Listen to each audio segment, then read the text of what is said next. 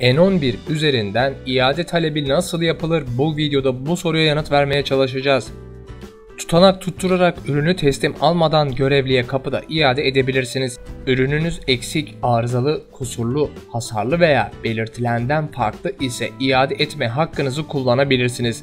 Kargo paketinde veya üründe fark edilir şekilde hasar darbe kırık olması durumunda kargo görevlisine hasar tespiti tutanağı düzenletmeniz gerekmektedir.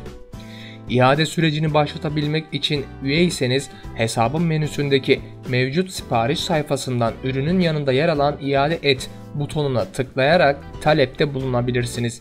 Misafir kullanıcıysanız alışverişten sonra size gönderilen e-postalardaki sipariş detayı linkinden iade talep edebilirsiniz. Ve iade sürecini gör butonu üzerinden de başlatmış olduğunuz talebin hangi aşamada olduğunu görebilir ve bu şekilde takip edebilirsiniz. Hasarlı kargolar için kargo görevlileri zabıt tutmakta yükümlüdür.